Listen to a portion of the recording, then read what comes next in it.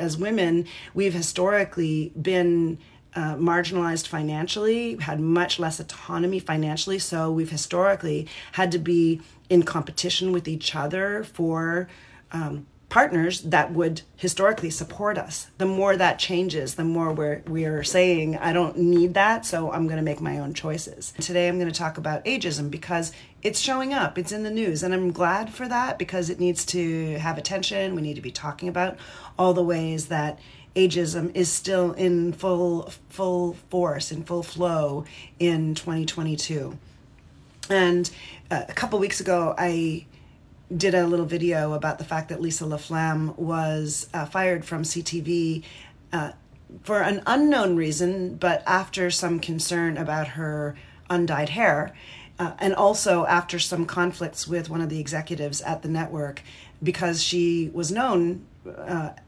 apparently, purportedly, for taking a strong stand against ageism, inequity, racism in the newsroom.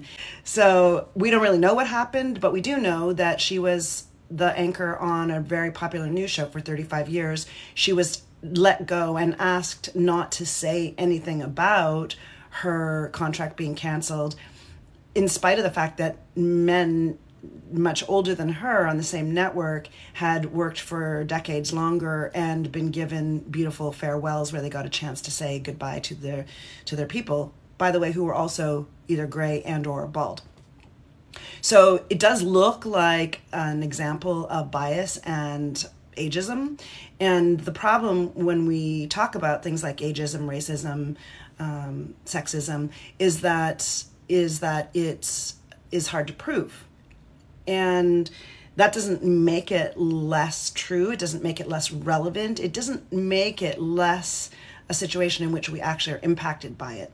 And the ways that we're impacted go so very deep around choice. When we do not have equity, we do not have financial parity, we do not have the same access to to resources and to career development. And there's one gender that's more often uh, doing the lower and unpaid work or being discriminated against, we suddenly have less choice. And when we have less choice, we have less power, and the system uh, it goes deeper and deeper into a systemic situation. Uh, sister, may I say peace and blessings to you? Yes, thank you so much. I appreciate that.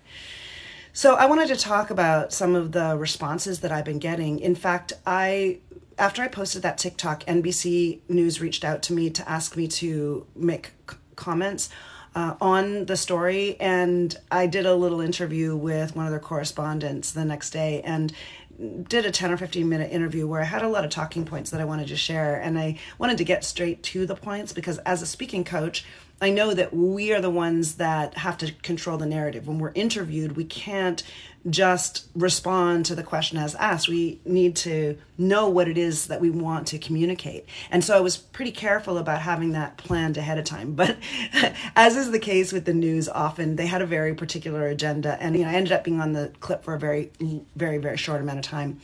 And they really wanted the correspondent to be able to say, So there is a silver lining when I raised the point that I'm glad that the topic is coming to the light. I'm glad that networks are picking it up because it needs to be talked about so very few of the points that I wanted to make were included. You know, if you have thoughts on it, if you have personal experiences, it's great to share them. It's delicate to take a strong stance on things like this because it's very easy to be seen as angry or to be seen as uh, you know in a negative light uh, there's uh, so much of the discrimination goes pretty deep and so for a lot of people it's scary to speak out. And the truth is i mostly don't speak out. I mostly try to take a positive stance and be a positive example of artful aging rather than call attention to the inequities because it feels risky. It it feels it feels vulnerable. It feels like you're sort of putting yourself into the fire. And so so many times we don't speak out about um, you know, when things that are inappropriate happen. I mean, that's the reason why the Me Too movement was so powerful when people started to speak out collectively and it gave permission to, uh, to other women and other victims of sexual abuse to speak out against it because they knew they weren't alone. Uh, at some point, someone has to take the risk and make it okay for other people to speak up too. And so I try to be that person.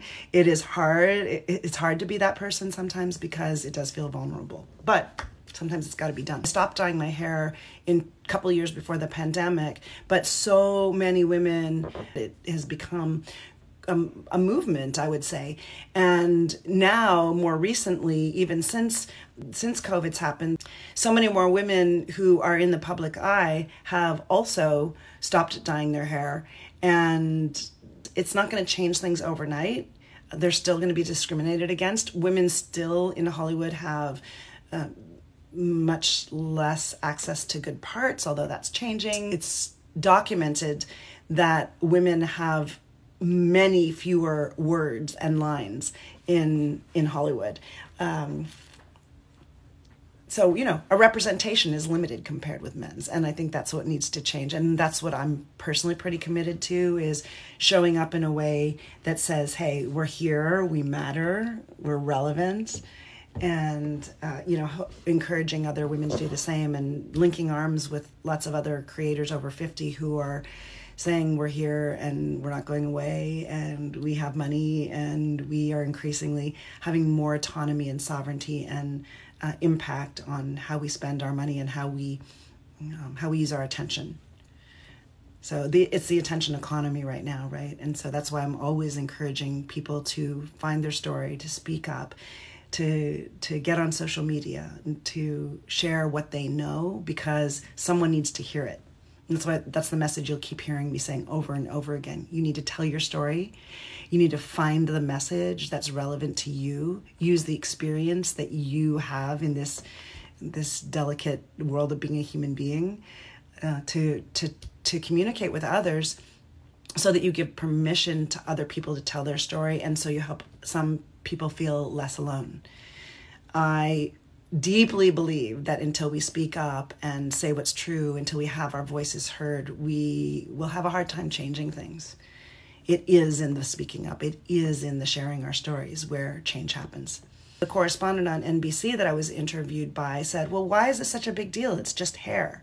And my response to that is, Yes, it's just hair and it shouldn't matter. And there's no moral right or wrong to either dyeing or to not dyeing our hair. But it's a unimportant symbol of some of the discrimination that still occurs.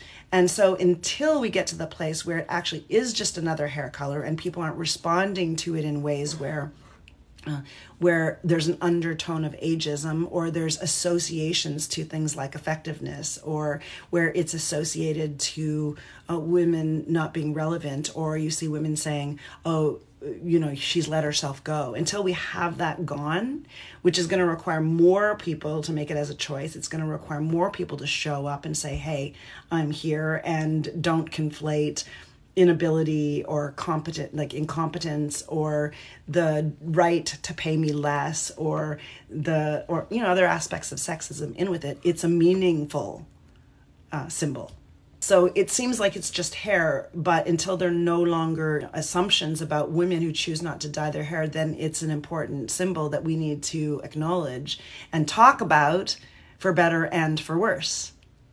And and not shying away from taking you know having fun with expressiveness through makeup and hair and clothes but also willing to show up and say here's what i really look like here are my real my real wrinkles and to take a stance for that too. And for me, that's the important thing is that it's not about one way or another way for us to um, to behave or to show up or uh, but rather that we have choice and that there's no discrimination in relationship to it recently a friend of mine who is very passionate about changing the way we see body types posted a very strong stance that said Botox is not self care. And it's interesting because I I don't personally use Botox, but I feel really strongly that it's not for us to discriminate against other people for whatever choices they make. There is nothing inherently good or bad, morally right or morally wrong about changing our faces, changing our hair color. There's nothing inherently wrong about dyeing hair. There's nothing inherently better about not dyeing hair. There's nothing better. There's nothing inherently right about not using Botox or about using it. Uh, the the bottom line is we are on our own personal journeys, and what we choose to do for ourselves is hopefully hopefully motivated by our desire to be more sovereign, to be more empowered, to be happier, to feel good about ourselves. And if that is the intention and the effect, then I say everyone makes their own choices. And we can stand behind each other's choices um, as we claim the right to make choices for ourselves. When we support and, and encourage another woman's autonomy and personal choice, we also take a stand for our own. The other thing that I said in my little interview that was ended up on the cutting room floor is that as an independent um, content creator and as someone who mostly works for myself or as a contract coach, I have a lot of sovereignty and I feel grateful for that. I feel that it's a huge privilege for me that I don't I'm not beholden to a corporation or to someone, a boss, or to a network, although I have been in that position. In fact, I was a film and television actor in the same city where Lisa LaFlamme works, and I was on TV shows that were aired on that network on CTV. And in fact, interestingly, I also played a reporter on a show that was aired on CTV in the early 90s. I was a, series regular on a show called ENG, and I played a reporter, a young reporter who Oh my God, there's so many interesting layers. I did leave the film and television business because I felt that at that time there were not great roles for women over 35 and i'm super glad to see that that is changing it's not fully changed yet there's still a lot of work to be done but it has changed a lot since i was a film and television actor the roles for women are getting older and they're getting deeper and they're getting more well-rounded in terms of the characters. And i'm happy to see that happening but when I was an actor, I was dependent on someone saying, "Okay, we're going to give you a job." I had to go to auditions and callbacks and hope and and and you know and suffer the heartbreak that all actors suffer when you don't when you have to work really hard to get a part or you are turned down for 9 out of 10 or 99 out of 100 roles that you audition for. And when you're in that situation when you're beholden to someone else for your livelihood or for work or for money or for mm, you know impact or presence or representation you don't have as much power. But because i'm an independent content creator and i'm committed to women in their 40s 50s and 60s telling their stories and sharing their their experience and taking up space so we can change the outdated narratives on aging that i feel it's incumbent on me to talk about these situations even though they're not popular. I feel it's incumbent on me to keep on talking about it, maybe even because it's not popular and because I have the ability to do so because I'm not beholden to anyone. There are women and people who have marginalized identities who might want to speak up against the inequity they experience, but don't feel they're able to because they are dependent on their jobs or their network or their bosses being approving of them. So that's why I feel it, it, it feels contingent upon me to take advantage of the fact that I am sovereign. I have the privilege of autonomy and on many levels. So it, I need to speak up for that reason, even though, believe me, I don't always want to. I think the silver lining, as the journalist made the joke, you know, the silver lining in this is that we are speaking about it more now, and that the news is has picked it up as a story, and that people are coming out in support of the women who have chosen to say, "I I want the choice to dye or not dye my hair. I don't want to be, um, you know, at the mercy of companies that are selling me products to have me." Fit into the image of younger because it's just the image of younger, right? The truth is that there are many people in their 20s, 30s, and 40s who have white, silver, gray hair and often who feel that they have no choice but to dye it. There's a lot of decoupling we need to do between white and silver hair and a lot of associations that we make to it. The more financial sovereignty we have as women and people with marginalized identities, the more ability we have to speak up and to say what's true. Just dye your hair black? Why? Black superior. Why should I dye my hair black? Tell me, tell me. Like, I would love to know. Tell me the reason I should dye my hair black. Because this is what we're talking about right now. I don't know if you're just coming in late but that's exactly what we're talking about. The thing that is really the most important about the financial sovereignty and why I feel really committed to women in their 40s, 50s, 60s, and beyond, as well as people with marginalized identities, having more money is that when we are sovereign financially, uh, then we have the ability to say what's true for us, to speak up. We don't have to hold our voices back. And we have our own platforms on social media now to speak what's true for us. We have inc- increasingly have emotional and financial sovereignty that gives us choice and power. And the more brands like Dove are starting to realize that our existence matters and that we are viable, we're a viable population that spends money, the more they're going to get on board with creating new stories and new narratives, the more things change. So, yeah, Black Superior, you know what? You're right. By people's perception of the narrative, I would look 10 years younger. By your perception of what age is, I would look 10 years younger. But why should I want to look 10 years younger? I'm 57. Uh, why should I not look 57? I don't think, I think I look 57. I think that if I did dye my hair, people who associate white hair with age would think that I look younger. But why? Why does that matter and why should it matter? I'm, I'm super curious and I'm, and I'm wondering if you're willing to be honest, if you apply that standard more to women than to men. Like, would you dye your hair? Would you get a hair transplant if you started going bald? You know? I'm 57. I'm going to be 58 in January. Who wants to look old? Nobody. Okay, so Black Superior, if you don't want to look old, would you get a hair transplant so that you would look younger? And believe me, a lot of men do because it's really scary for men to go bald because it is the thing. You know, we have a culture that says it's okay for men to have white hair. They look like silver foxes and they're sophisticated. Black Superior, yes, you would get a hair transplant. You want to look young forever and healthy. Yeah, I mean, I I listen. I have a model that I call artful aging, and there are four tenets to artful aging. And artful aging means the first tenet of artful aging is optimization. That means making the most of whatever it is that we have. But if you're committed to looking young forever and healthy, I hate to break it to you, but you are going to fail.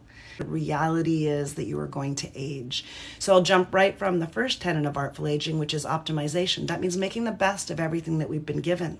The best doesn't necessarily mean younger, except that we live in a culture where youth is so idealized that we forget that there's beauty and power and impact, even beauty in aging.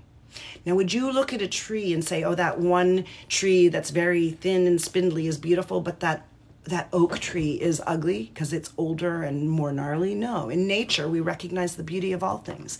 But we have these very limiting beliefs about human beings and especially about, about, uh, women uh, that say that they have to be a certain thing or a certain type of thing in order to um, you know to be acceptable and to be viable so the fourth tenet of artful aging is gracious acceptance and they hate to say it but if you are going to be impacted in a way that is um, you know going to impact your your health your happiness your self-acceptance by only feeling good about yourself when you're young um, you're gonna you're gonna you're gonna suffer. You're gonna suffer because part of the experience of being a human is accepting that we do age I'm 66 years old. You will not stay looking young forever, no matter what you do. Yeah, I don't know how old you are, Black Superior, but yeah, I, it's really true. You just aren't.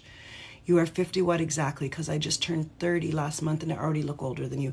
Okay, so know that even when I turn off all the filters, TikTok does filter a little bit. So I would say if you saw me in person, my skin isn't as smooth as it looks. I, I try not to have filters on because I don't want to represent myself in ways that are not um, not true.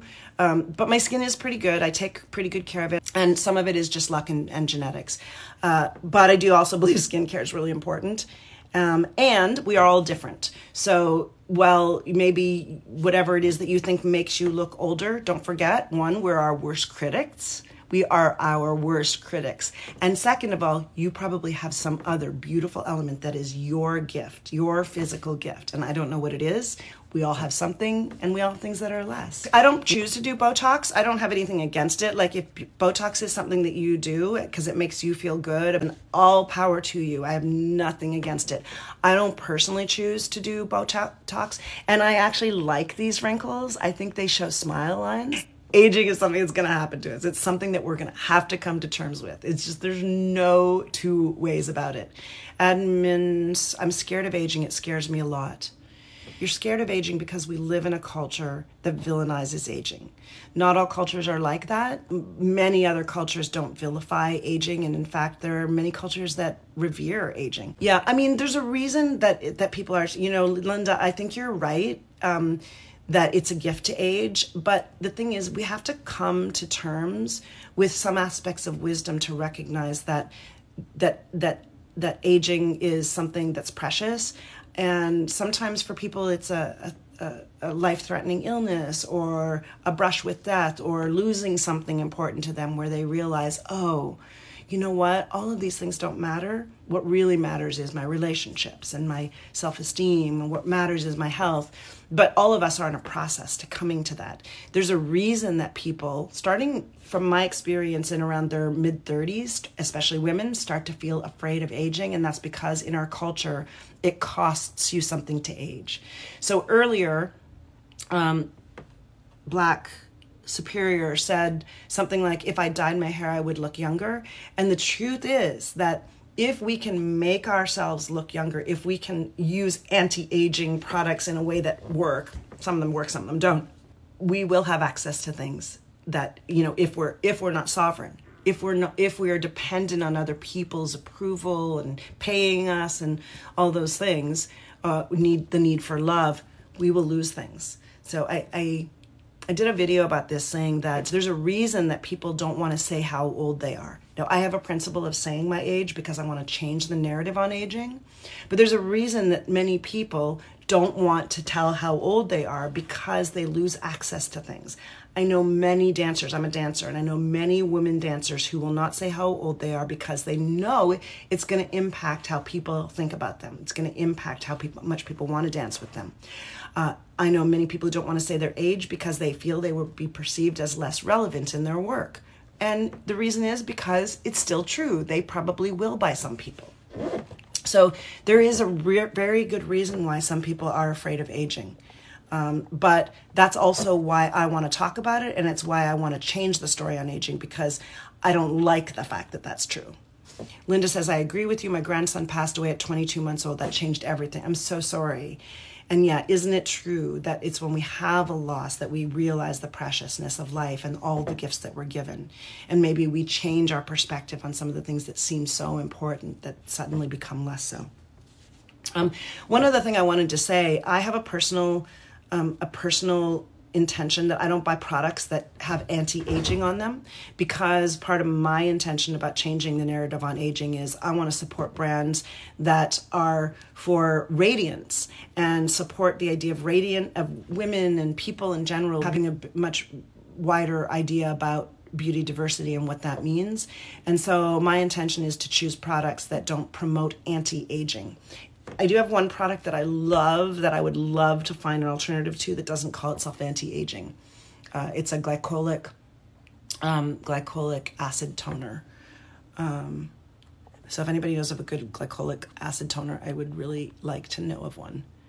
Um, it's admin says it's scary apparently because I don't have family of my own, no husband, no kids. Society makes it worse.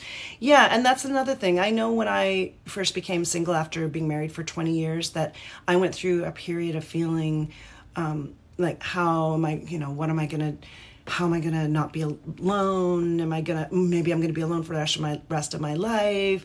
Um, I'm going to be, you know, am I going to be too old to be perceived as attractive? All those kind of things. And it, it took me through a journey of realizing that I actually am fine being alone, but it took me a while to get there, to get to the place where I realized, okay, I'm okay being alone. Um, and it's not easy to do in our culture, especially when we have financial inequity between men and women. Uh, which again is why I'm so committed to women having more financial autonomy so they don't feel the need to have men, but they can have relationships with men because they choose to, not because they have to. Um, so when we get to come to terms with our being willing and being able to be alone, then uh, then we can actually focus on the things that feel most vitally important to our hearts and to our souls and to our spirits, to our minds admin specialist. I'm black and it's not easy over here. Absolutely. Absolutely. Um, you know, we unfortunately still live in a culture that has so many isms, and there is so much inequity.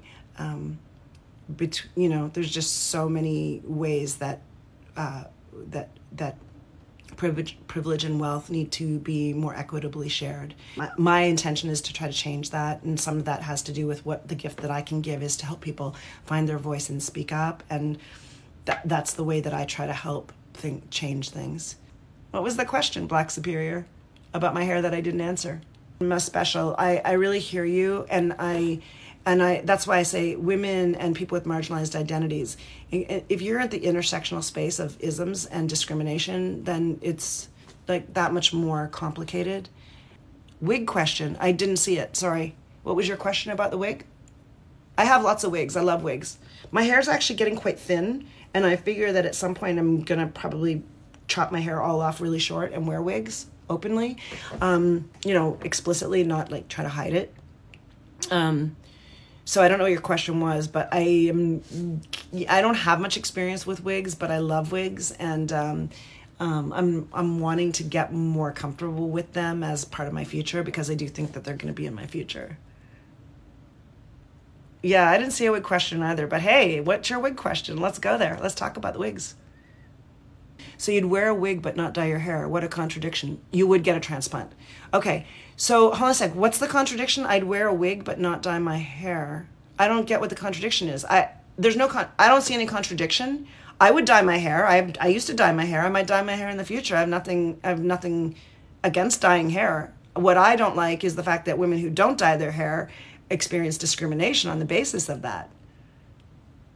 Yeah, and if I did wear a wig, I probably would wear. In fact, most of the wigs I have are gray, and and I think that if I was going to wear a wig, I would wear a wig that was m- more this color, like more all white rather than salt and pepper. That would be my preference for color. Thank God I met you today. You made me feel better. Oh, thanks, City Miss Special. I appreciate that. Yeah, I don't really see the contradiction because I'm not saying like as I think it was pretty clear before. I don't hold a moral positive or negative to dying or not dying. I don't believe that using Botox is morally superior or morally inferior. I don't believe there's any right or wrong or morality to what we choose to do with ourselves.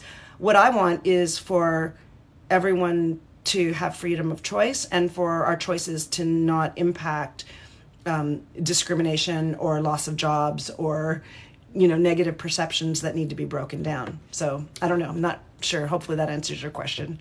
Yeah. And and yes and for sure if i wore a wig i would like to wear a gray wig or a mixed wig. That might be it. If you're not following me or not friends first of all if you're a creator let me know what you do content about because i try to follow all my friends who are creators. If you're interested in speaking skills and empowerment for women, in any kind of communication, improving how we communicate with each other, uh, artful aging content, and sometimes I even talk about ADHD because it has an impact on me. Any of those things are things that uh, you could follow me for.